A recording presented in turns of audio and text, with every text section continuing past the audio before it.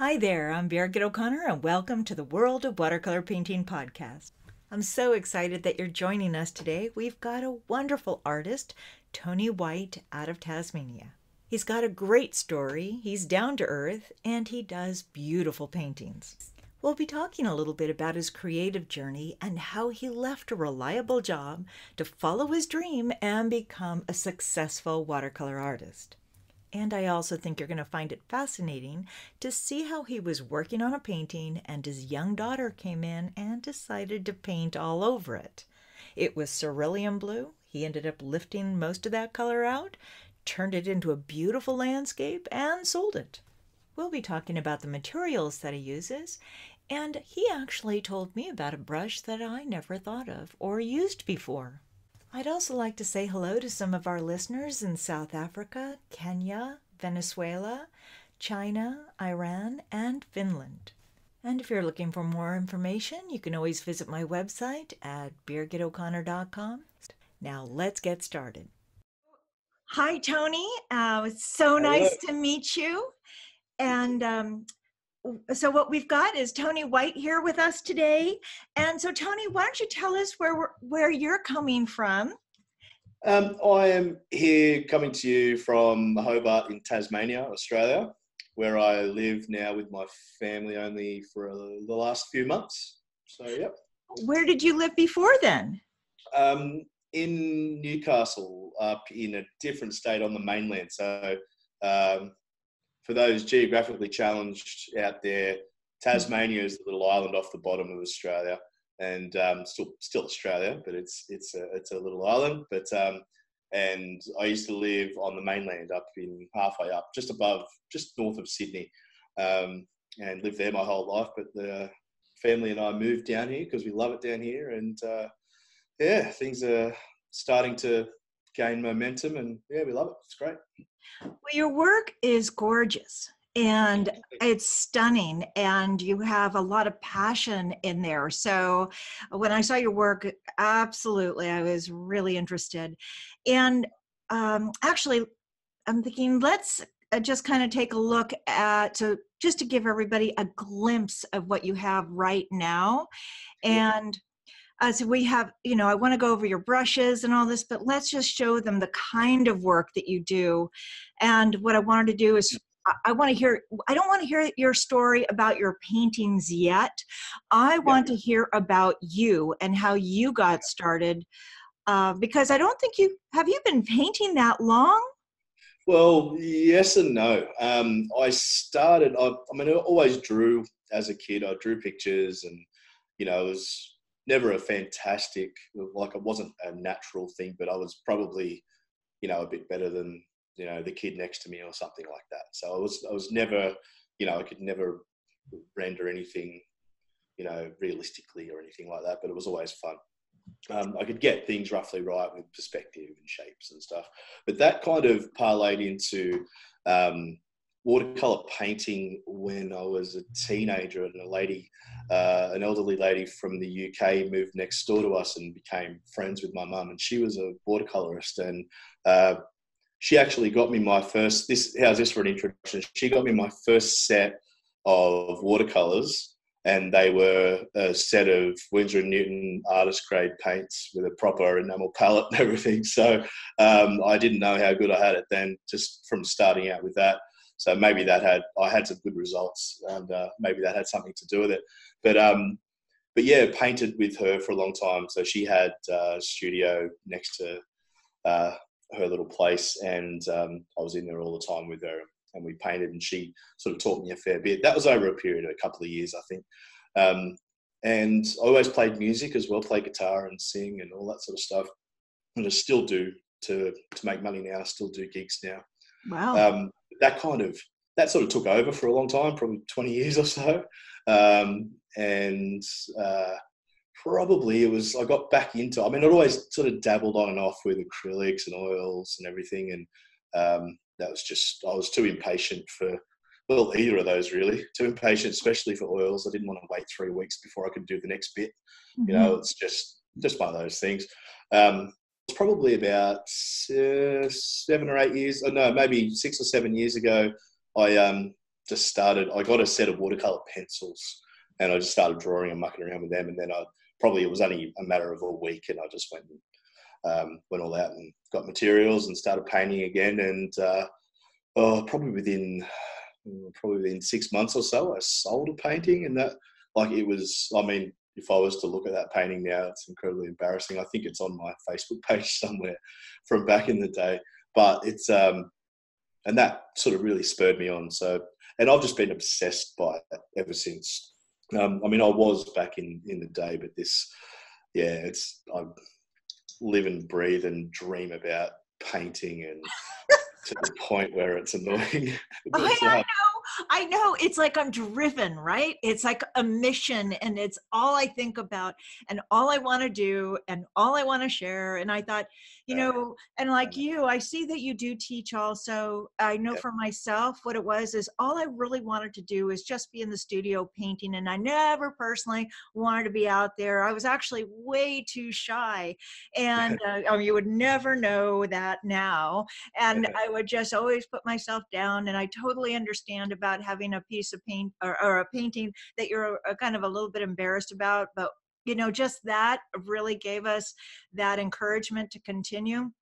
Yeah that's right I, I think that if you i mean as, a, as an artist if you if you're happy with your work then i think as stupid and sort of um, self-loathing sort of thing as it sounds if you're truly happy with a painting then I, there's something wrong i think. I think there's always that is perfect because right? Do we ever think that it's ever great no. you know? So some come easier than others. Exactly. absolutely. It, it's usually those ones that we uh, that just seem to flow out and you're done within uh, an hour and it's great and everything worked. They're they're the ones that you just go oh well that's that's great. But you but if you go back and look at it the next day then you'll still see something go oh, wish that was better. But um but no and i think that uh, that sort of motivated me to I started attending workshops and um, with Alvaro Castagnet, Amanda Hyatt, and all mm-hmm. the, the, people that are you know idols to me, um, painting wise, and um, and I, I, just I'd always taught guitar from like when I was a teenager, and with that whole mm-hmm. music side of things, I always and I felt like I, was, I could communicate pretty well what I was after, and I knew what teaching style I liked. Um, as a student, I mean. Um, and I'd been to many workshops where that style just wasn't present. It was just run by old fuddy duddies who, you know, we. Oh, there was one that I went to. I won't, won't mention the tutor's name, but um, well, I'm always curious, but that's okay. No. no. sure, absolutely. I'm happy to talk. Yeah. Um, no, but, uh, talk about that. We'll be good. That's all right but no, like, and we got, got into the room. Uh, he was late. Oh, um, oh, not good. You know, everyone's everyone's paid for this. Obviously, we're all paying participants, and exactly. you know, he was late. Um, he had big TVs and cameras and all sorts of stuff to set up, and all he did is he had a, a shopping bag full of apples, and he went and put an apple on our desk and said, "Draw that while I set up." Uh-huh. And yeah, well, I mean, cool, whatever, that's fine. But um, he taught us to draw by saying, "What's the best?" He, he gave us an exercise and it said, uh, "What's the most accurate way you can get this little shape?" It was a few little shapes, um, and everyone was racking their brain, going, "Well, yeah, you can do this, do your pencil, blah blah blah, all this sort of stuff." Um, but he said, "No, go to a window and trace it." Oh, you know, yeah. It's like it's just crazy. It's um, but we that entire it was just a one day workshop. That entire day none of the students picked up a paintbrush. Yes, I hear quite a bit of that actually. You know, I want to interject here too because it really depends on the. There's a couple, of course. I, I, like you have totally sparked my brain and all these things that I want to interject with you. But um, the, the first thing is like when I started out, I my i had one son and he was very young and I, I didn't know anything about watercolor and what i wanted to do is i took an adult ed well a college class a uh, an adult evening class, you know, and I go there and he put a teddy bear in a vacuum cleaner in the middle of the room and he said, paint it. And I thought, what, what, do, I, do what do I do with this, you know? And that was basically it. I'm not going to do that. You know, I just didn't have the time for it. Yep. And also about the tracing when like teaching workshops, depending on what you're doing, because like you can see my paintings behind me, yep. and to break them down into a simplistic form instead of them getting so caught up in all that detail, I need to have a tracing ready for them. And yes. so, you know, we keep that going. And I could also see Alvaro's work. I could see your his influence in your work. And it yeah. is stunning how you have translated it you know you've done an outstanding job so oh thank you appreciate it like the the tracing just to clarify um, this fellow that uh, was the, that was the tracing teacher um, we'll call him the tracing teacher he's ironically he's an architect he made his living in his life being an architect and so you know he could have taught us how to actually draw it However, um, that would have been fine if there was a point to point to it, but we never went anywhere with it. So at the time when we did the tracing, it was like, oh yeah, of course. But it never went back to it. It was just a frivolous exercise. And all we did for the rest of the day is watch him paint via his camera. He didn't want us around looking closely at his stuff. And he spoke about his his little um, pallets that he has made up and he wants to sell. He was just trying to sell his stuff. Right. That's another thing that happens a lot of times in workshops. They're always trying to sell their actual originals, their prints, or their products. Like I'll have brushes, but it's like if you want them, they're there. And, right. you know, it is. My focus is not to sell originals when I'm there because really it's about the student learning how to paint yeah, so I totally, I'm right with you on all that.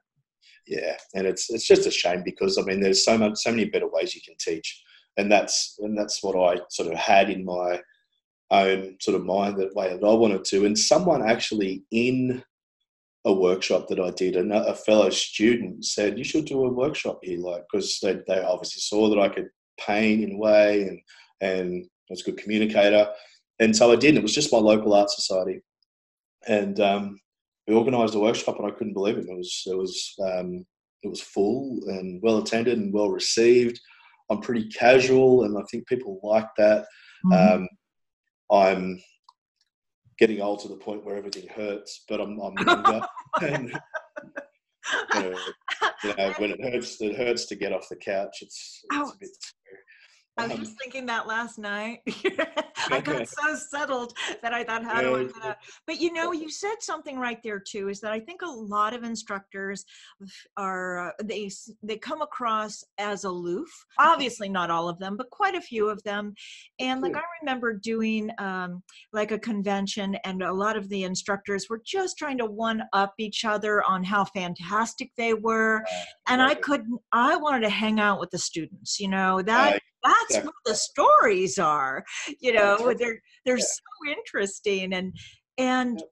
you know yeah and that's that's exactly right there seems to be a lot of i don't know it's kind of like a little game that they all play with each other there's little cliquey groups of tutors and stuff and it's just like eh, i don't want any of that i just want to go in and make my students happy and glad they came and paid their money you know i respect the fact that there's hard earned cash being thrown to attend a workshop done by me. And I never take that for granted. I think a lot of them sort of seem to take it for granted. I guess once you've been doing it for 20, 25, 40 years or whatever, then, you know, it can happen. But I've been teaching for a very long time now. I mean, I, I was only doing galleries for quite a while and I got tired of being isolated in the galleries. And I mean, here it was kind of a mixed bag thinking I just wanted to stay in the studio. That's all I wanted to do. But then I didn't want to just listen to what the gallery had to say. And I, and by teaching, like traveling and teaching the way that I was, like I know you travel too, which is awesome. You have so many wonderful experiences that happen but I felt that uh, I couldn't grow the way I wanted to grow because, in order for, like, I didn't realize that people, I didn't think my work was any big deal. So, just like what you were talking about. And, yeah, yeah. and then I had something to share with them. And, but then to break it down in a way that the students could understand, I had yeah. to break it into such a simplistic form that I wasn't able to grow, you know? Yeah That's right, and that's I've just put a um, a little. It's about eight minutes long. A little video up on YouTube just yesterday, actually, um, about a workshop that I held in Brisbane a few weeks ago, um, a couple of weekends ago, and it was a three day workshop. But I sort of went through a couple of the paintings that that I've you know, as a teacher, you get to the point where you're going, you're, you're repeating things, but you find your your subjects that are the, the best subjects for teaching what you're trying to teach. Exactly. And, and that's why you go back to things all the time. And I've never understood the whole. Um, I mean, plein air workshops are, are great, but I, I, I don't. I just I don't want to go to a workshop as a student and just have have them stand there and paint their vision in front of me, and that's it. Like, and that's that's fine, but they've like you've got to they've got to be a reason. There's got to be a bit more to it, a bit more substance, and and and that sometimes that just means repeating things. You know, and like I've got you know 20 different versions of the same scene, but I guess the beauty of watercolor is it's going to be different every time. So, do you, when you teach, are you teaching them in the studio, or are you uh, like in a facility like that, or are you teaching um, them outside? Both bit of both. Mm-hmm. Um, a lot of the time, um, the way it's just panned out recently, anyway, in the last couple of years, has been most of the time it's been in a studio, in a, an actual facility. Um, but there's, I always do things in that instance. If we can't get outside, it's too hot or too cold or anything like that, too windy, the weather plays havoc, obviously. Um, I always go always go for walks outside class and take photos of things that that'd be a good subject um, to, to for, and then translate that into things. So it'll be the first time I'm painting it, but this is how I'm doing it. So I'm you know simplifying complex things into big shape and all that. So you still get that way of looking at things when you're teaching plein air and when you're painting plein air.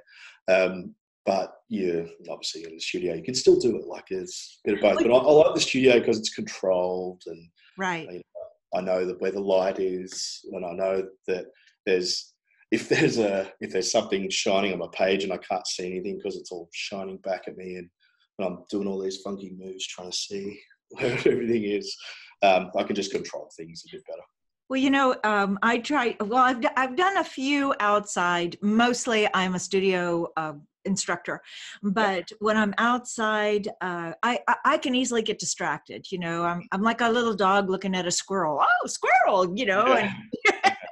and when i let the students out like like we would do a little plein air painting or some uh, travel sketching. And really honestly when i think about the travel sketching to me that just doesn't seem that difficult you know? You're just kind of yeah doodling kind of and, right. yeah. and so i thought oh that's a super easy thing maybe have people come out here the problem yeah. i run into like if I, it doesn't matter where it is if it's in the wine country or if it's on the coast once yeah. i have those students it's like I, it's herding cats you know you tell them please don't go out into the vineyards and yeah. don't touch the grapes and they're yeah. out there going and isn't this delicious and then we're getting kicked out of the field or they're getting so close to the cliff that i'm thinking oh my god you know yeah absolutely so, no and you're absolutely right and i think it's just having that bit of control like if you if you take it i mean there's a difference, I guess, between just a, like a one day workshop or, and it's uh, because I did one earlier in the year, it was on Sydney Harbour and it was just a, a plein air day and it was specific, specifically plein air day. And we were on the harbour, it was great. We did a couple of paintings and, but, you know, we're on a path in a, in a park and there's people just, you know, it's just one of those things. It's, it's distracting, but, um, but, uh, so it's not the best for, for teaching. Um, but yeah, i will do it anywhere. Like, I mean, I'll, I'll come and teach in your toilet. Doesn't matter. well, you know I mean, what? I, I love your studio there. You know, you have got the best studio. What do I see back there? You've got your crib and you've got teddy bears and things like that. Yeah, I haven't grown out of it. Yeah, oh, so sweet. So, yeah, I know. And uh, I, this is where I'm relegated to to at the moment, which is the uh, a corner of a baby's room. It's a pretty big room, but he um he gets in here and he he's he's about 15 months old, but he gets in here and he gets my brushes and he's he's he's come out. Of, it's my own fault for leaving them open, but he's come out there and his hands have got you know 120 dollars worth of paint all over them. Here he is, almost. There it is. That's that's my daughter. That's Sydney. She Oh.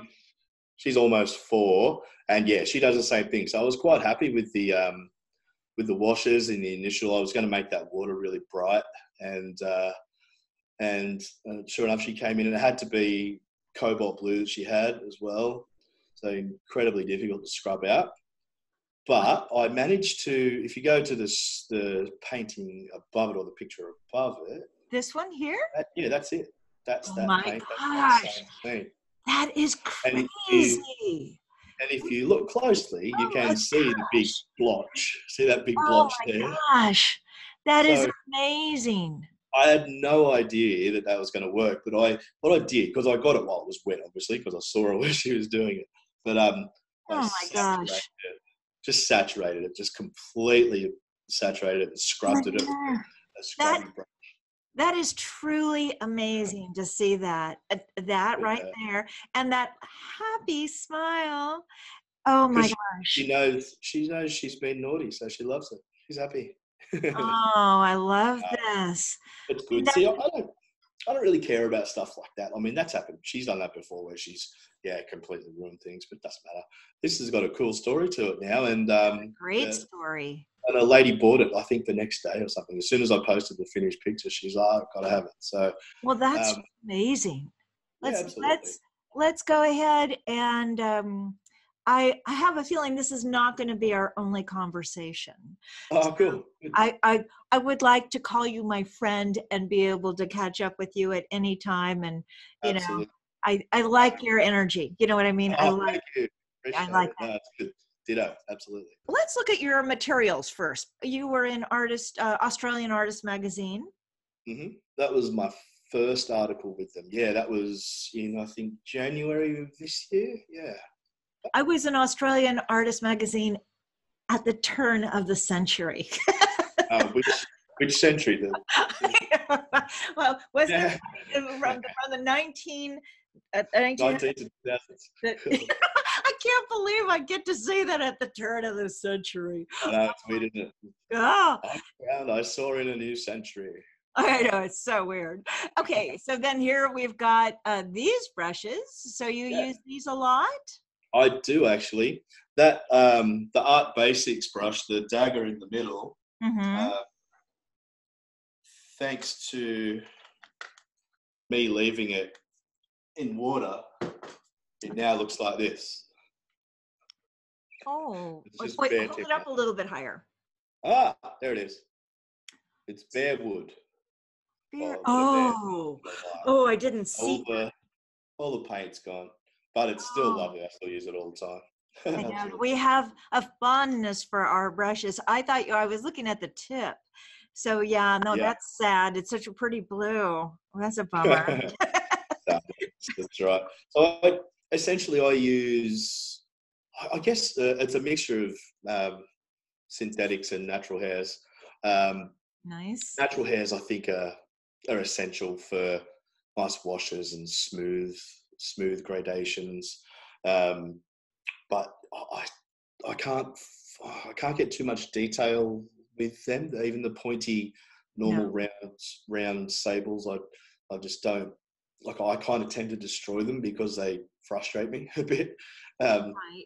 but but that one, the the number sixteen there, um, is That's a uh, Kolinsky red sable. Yep. it's a red sable, and it's it's great. It does so much work. I just sort of use that for like if you if you're talking pa- painting in stages, you've got your wash, your next wash, and your details. You know, as a general rule, if I'd, I'd sort of use it in that middle step there. Uh, but I would always, and I always, it's just a habit I, I've developed. I always have a pointy synthetic brush, like the one on the right, pointy synthetic brush loaded up with the same pigment, so I can, you know, do little Yeah, you get the detail in there. And this looks like a fantastic brush, your sword brush, your dagger, and that one too. And it's interesting, it's a number 16. Do you have other um, sizes in this, or do you primarily stay with that 16? Um, I've got a 16 and I've got a 12 in that as well. Um, the 12 doesn't get used as much. I generally go on to bigger brushes. I, I err on the side of bigger brushes as a general rule. do you use the sable synthetic blends too, or just. Um, okay.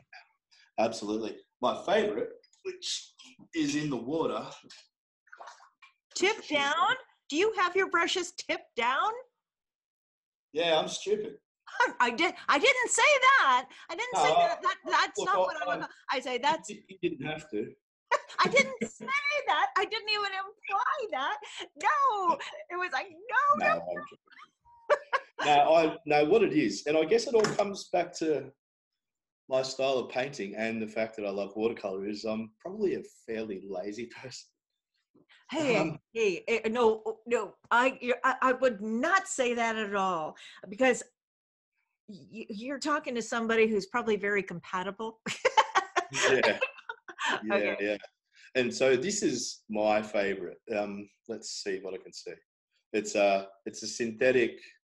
I think it's um, pony hair. Oh, uh, synthetic pony blend. It's just a, a cheap calligraphy. It's got a bamboo handle, and they're about twenty bucks or something like that. Um, and it's got no writing on it anymore. It's all gone, but it's just from a cheap shop. But it does really. If you watch any of my YouTube videos, this is all over.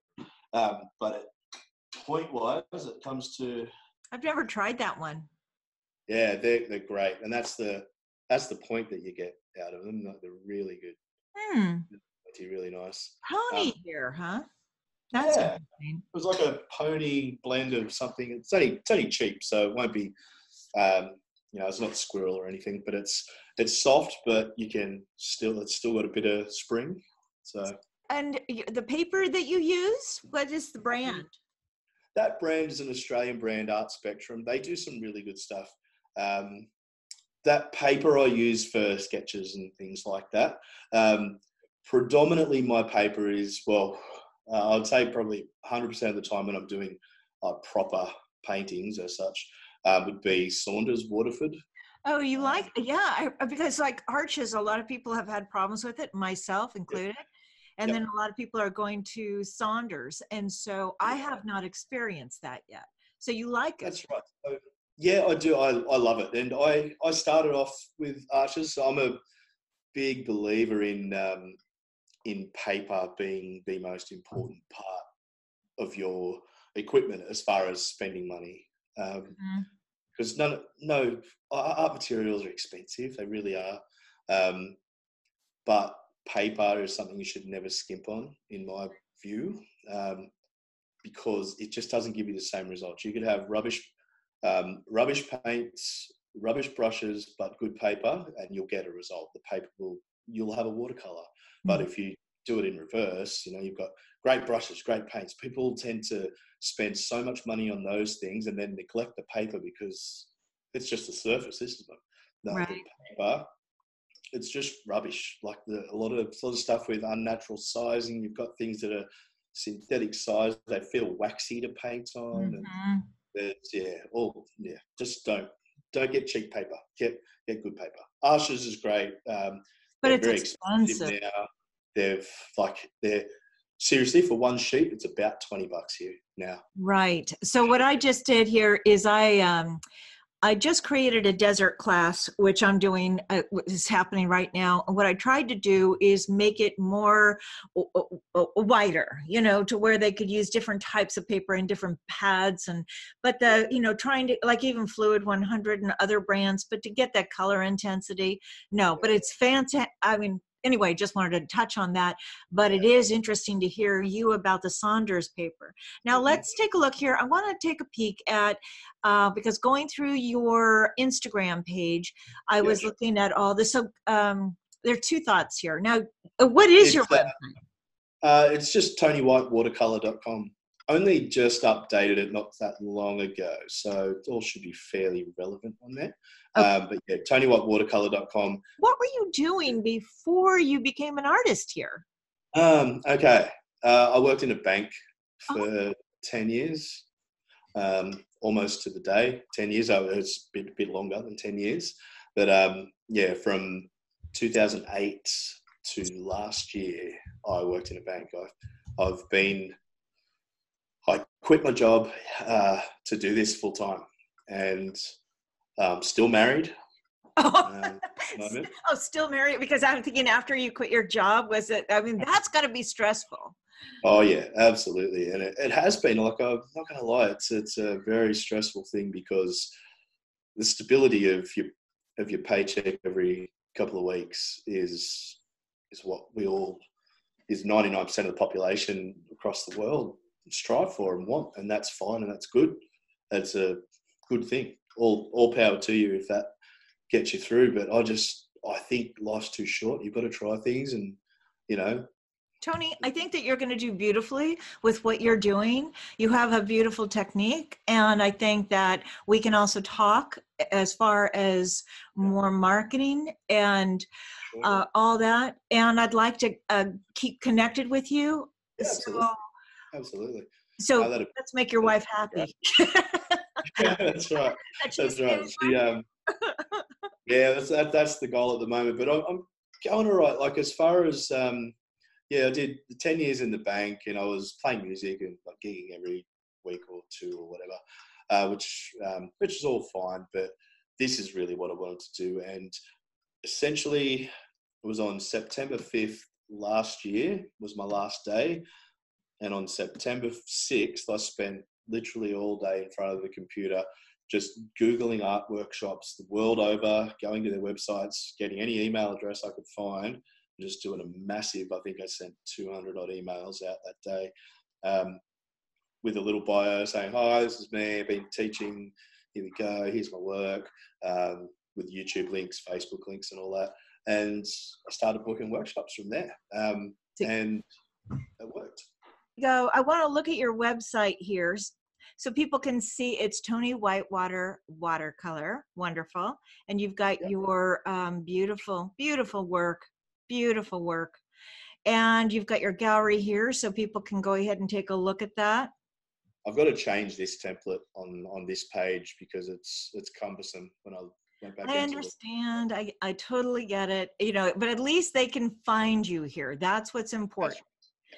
Okay, and then let's take a look at uh, your palette. Oops, I'm going to go over here. Everything moves around on me. Mm-hmm. Okay, so is this an, uh, your average palette? Uh, yeah, mostly. It's changed uh, slightly since I've started using Schmincke colors. Oh, um, I love um, Schmincke, yeah. In the last, yeah, they've always been my favorite, and I'm lucky enough to be working pretty closely with them at the moment. Which is. Nice.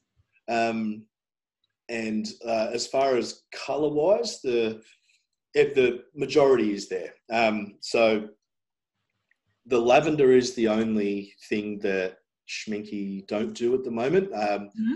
They're talking about at some stage, perhaps doing a set for me, and I'm I've been talking to them about developing an opaque lavender color, which is like this the Holbein one that I, I use, the Holbein lavender. Um, it mixes really well. It's just beautiful. I can't do without that on my palette, so that's the only one that's not a Schmincke. But if I was to go through and name the Schmincke colours that I'm using now, which I will, oops, sorry about that. Um, neutral tint I use, absolutely. I've always used a Schmincke neutral tint because it's not dead. Um, right, dead. Right, that's interesting. Of, okay. Yeah, a lot of neutral tints are just black, and they've got uh-huh. they've all got black in them, but there's just I mean, the, a lot of them are just yeah, it's just like using dead black paint, mm-hmm. but it's kind of cool, sort of on the way of per, like a cool purpley tinge to it. It's really nice. Mm-hmm. Um, burnt sienna, uh, the yellow ochre. I'm not really using much these days. Hmm. Um, mm-hmm. I'm using uh, transparent orange. Uh, Schmincke's probably their famous color. Schmink, uh, right, I've heard. Orange. Mm-hmm. Um, using that, and I'm using Turner's yellow, which is like a chrome chrome yellow. Um, and alizarin crimson, I'm using a color of theirs that's not fugitive called Bordeaux. The purpose that I, I wanted to get to for, I mean, alizarin I only ever used as a mixing color anyway. It was never really something that I would just use, um, which most are, I guess. But things like the pyrrole red, which the um, the uh, Schmincke version is the um, scarlet red. Oh, okay. Uh, that's the same pigment in there. That's beautiful because it stays red. You can do like straight out of the tube all the time. Bang, just little red highlights and dots here and there. Um, that stays red. Cadmium red I used to use all the time, but it seems it fades off a lot. As soon as it's dry, it fades. Mm. So much. Kind of dead. Um, Yeah. Yeah, that's right. It's just lifeless, absolutely. Um, Mhm. ultramarine is a staple. Cobalt's a staple. Um, Tasman blue was an art spectrum color, which is kind of like a slightly nicer version of cerulean. I've never Uh, seen that. Is is that a Schmincke color? No, that's a, an art spectrum color, that art Australian brand that we're looking at. Okay. Um, but that I don't really use anything in place of that anymore. I find I don't need it. Um, I'm doing cobalt turquoise and nice. the Schmincke and the Holbein lavender and the the Jaune in um, Schmincke as well. and so Um, isn't that opaque? Uh, I've never used that color, that Yeah, it is. It is. Um, it's it's got an opacity to it, and it's good for like you know the stereotypical highlights. You know your white highlights on the shoulders of people and the tops of their heads when they're driving riding along in a in a street scene or something, walking along. If you use the Jaune, it's got it's basically it's basically titanium white with a tiny bit of burnt sienna in it, so it's just really like an off white. Um, it just adds a, it's a bit bit more bit more natural looking. Um, but I, I use it. Uh, I don't use it very much in mixing. It's more for highlights, or if I want something that is a um, a flat grey, like if I'm going for a flat grey sky, for example, I would mix a little bit of that in with it, just because it just deadens it. Well, here, let me. I'm going to flip through some of your paintings so we can take a look at. And if you have a story or or a comment about it, you know, go Yeah, ahead. sure. And Um, that one there's Oxford Street, I think, in London. Um, I think around Christmas time they do all these balls and they hang them all all from the uh, from the, the streets and Hmm. street lights. Um, that's very messy. Ended up very messy. we don't need to uh, go through each piece in in depth but what i thought that it would be really wonderful for people to see this and what i find there we have some of the opaque colors on top of it and your strokes are very uh, confident you know that's what i really like here too Yeah. And this is very nice and misty so what would you did you use the neutral tint back here or Uh, yep, the neutral would have been part of the uh, the tree line coming up. The um, and the almost probably straight neutral tint for some of the tree branches. here you have more transparency in it and with the red is wonderful uh, that one that we had back there that that you thought was a little messy you had Yeah. some very um, interesting dry brush marks well actually you get Yeah. a little bit of that here too and to get the Mm. how do you get your thin lines here how are you doing that Um, with a really small rigger, it's uh, uh, it's kind of strange. Like I don't like I'm fairly. It goes. This will sound funny. It kind of contradictory. It goes. It goes against my my kind of nature with painting is just be free and fun and loose with it. Loose painting is is to go absolutely in my book, um, personally. But um, a lot of the time for nowadays, because I always got frustrated with those lines, those especially with the um, like the lines going across, like the power Yeah. lines. I get frustrated at doing because they're the last thing you do, of course, in the painting. But I get frustrated with having a great painting and you go, "Yep, cool, really happy with that," and then just a wobbly line is just horrible because it's, it's hard to do.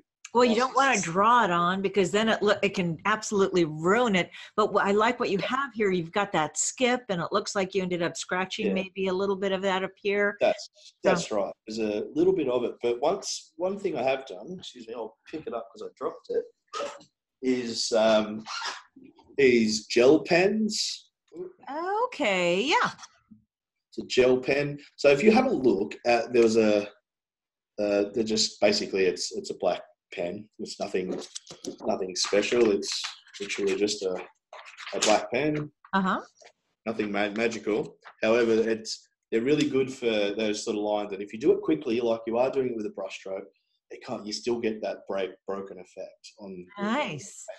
Um, so I have been using these a lot for those tiny little touches like that. Um, and you know, you'll get the, you'll get all the snobs out there talking about pure watercolor and all this kind of stuff. And you know, it's whatever whatever works for the painting, whatever makes that painting work. no Well. I'm looking at this painting right here. Now, are- are- is that in London or something? Mm, That's why I've got no issues using gouache or anything like that for highlights. And Uh, uh, Do you do a lot of traveling? uh, recently, yeah, um, but the, I used to live in Melbourne for a while, um, and so I've got lots, a lot of photos, a lot of photos. Um, and this one was from Melbourne. That is uh, a copy of uh, Joseph Zbukvic little exercise that, that he did. I just wanted to muck around with that red umbrella and things. The reds are Um, wonderful. Yeah, that's that's right. They're they're great. They're all very. I mean, they're getting a little bit cliche and a bit kitsch at the moment. All the the, the funky red umbrellas, the, thanks to Alvaro. It's hard. So it's all part of finding your own voice and your own style. But you can't do that until you actually develop the technique, until you, you know, it's so. And I like how you handled your background here and your view. What I like, again, I like your confidence and your stroke. So, what brush would you be using for this here? That that would be one of those um, those little Sure. mop brushes, the little sword or? kind of little synthetic mop. Oh, I got that. That's a synthetic mop? Yeah, it's synthetic. It's costs about three dollars. Oh my gosh. And it's it's probably one of my favorite little um, little brushes every now and then because it, it it's it fans out to a lot like it's it's still got a nice belly to it so it holds Only a lot of three bucks? but it's um Huh. What's the name of that? um it's the brand is Montmartre um which is basically a cheap brand that's sold in newsagents and things like that over here Montmartre art. Okay. All And right. It- Traditional watercolor mop is what it says on the on the handle, but um, but no, that the, the confident strokes, it, you kind of have to. Right. Watercolor lends, watercolor lends itself to um, going for it.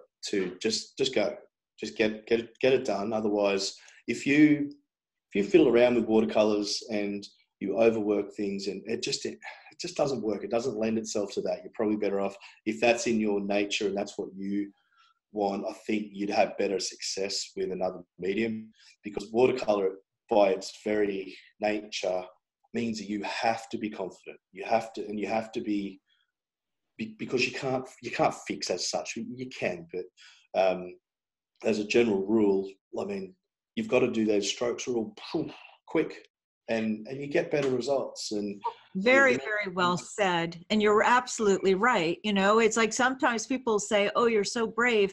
What it is, is that you just go for it. You, uh, like, I think of every painting as an experiment and you just see what happens and works with it. And like what you did there with your, with your daughter there, where she ended up putting the cerulean blue in your painting and you just kind of dealt with it.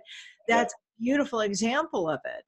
Yeah, that, that's that's right because it, it doesn't it doesn't lend itself to being timid. You know, you've got to you've got to just go for it, and you've got to remember it's only paint, it's only paper, it's only a brush, it's only water. So it's not they're not Ming Dynasty vases we're playing with here. It's just they're paintings. We're creating a piece of art, and you've got to go with it. You've just got to have fun. You don't want Well, for the type of painting that you do here, very loose, colorful, a lot of wet into wet, and then wet on dry too. So, how long does it typically take you to do a painting?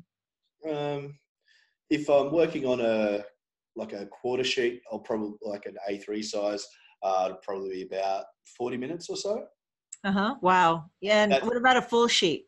Uh, a full sheet, you'd be talking a couple of hours, especially when you're talking drying times and things. Right. Like that.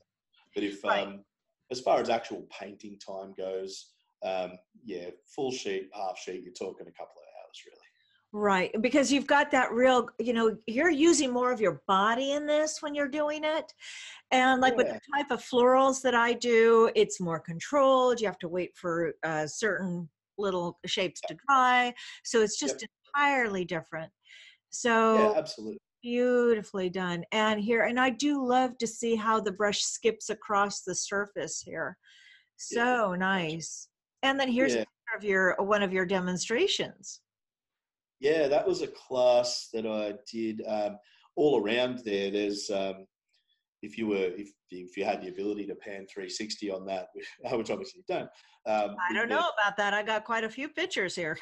it's a um, it's a it's a massive hall that there was uh, the tutors from all over the world in there, and I just had, happened to have my little class, and we're all teaching in that same big, massive space.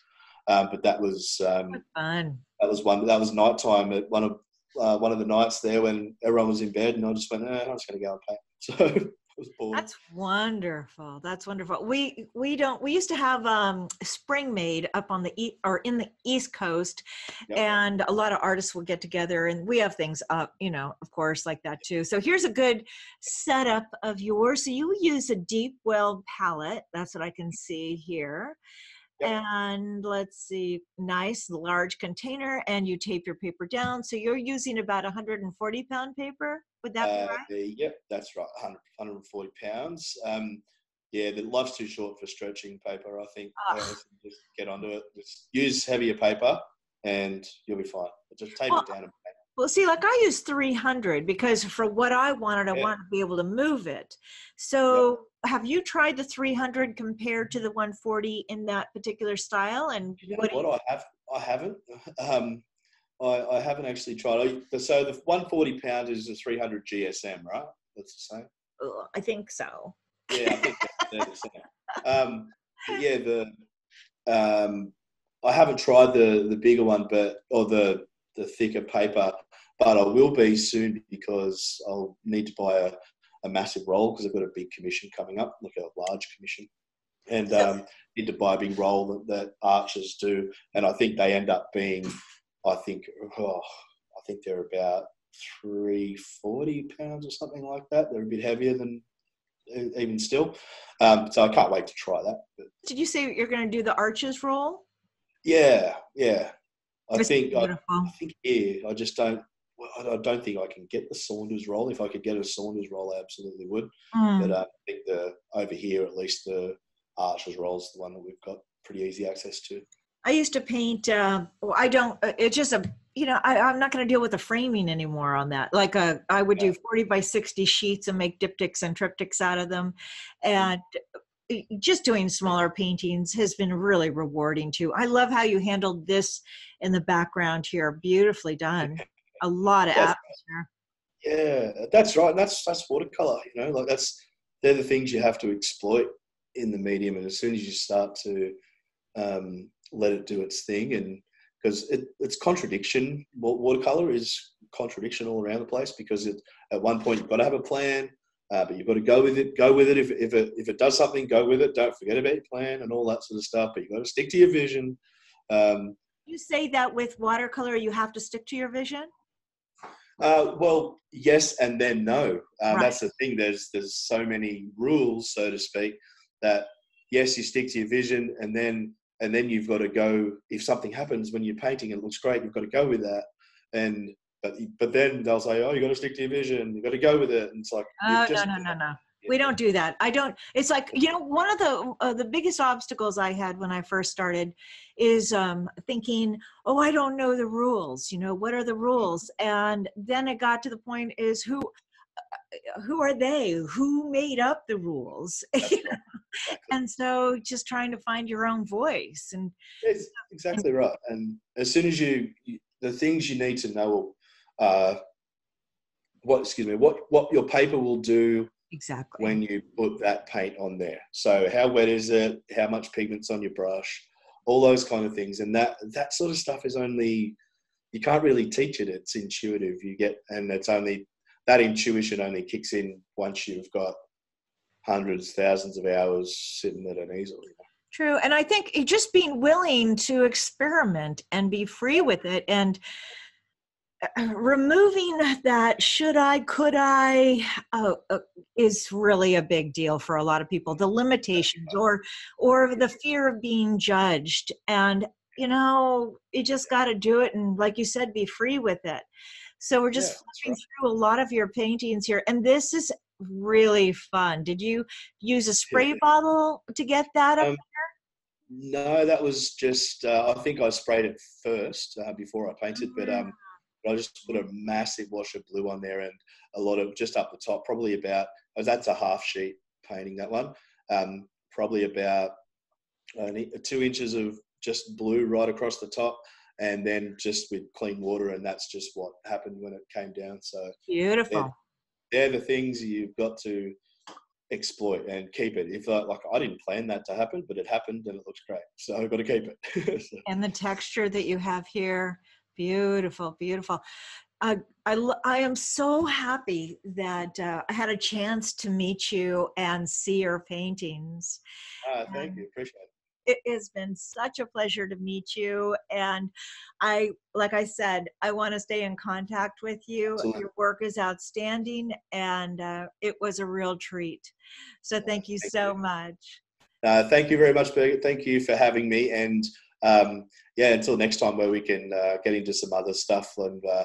I'll bring the wife in next time. Oh, I'm sure she'll be thrilled. It's like, no, yeah, no, I don't want to get. So um, we've got your uh, website, tonywhitewater.com. Is there anything that you would like to say? Yeah, I mean, my uh, workshop wise, we're all, it's all sort of booked out. So there's kind of no, no real need to plug anything that's, that's, uh, nothing's available for. Um, but the biggest thing is my YouTube channel.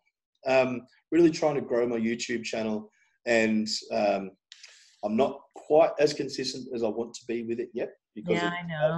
As, as, you would know, it takes a lot of work to film things, edit, change change pooey bums and all that sort of stuff. So um, it's uh, yeah, a bit bit of work. But my YouTube channel is what I'd really like to um, have people have a squiz at but I did that and I came across the episode. I'm always I've I've had your podcast subscribed to for ages, um, but I didn't realise that, that, Jane was on it. So I, I, watched that and I listened to a lot of your other stuff as well with um, with Charlie O'Shields from oh yeah Color Group and Doodlewash and um, yeah, and that's how I kind of found you and I thought it you know you needed another Australian guest on there because um, we, we were lacking. We were, quite frankly, Australia's falling behind in in the Birgit O'Connor watercolor podcast representation.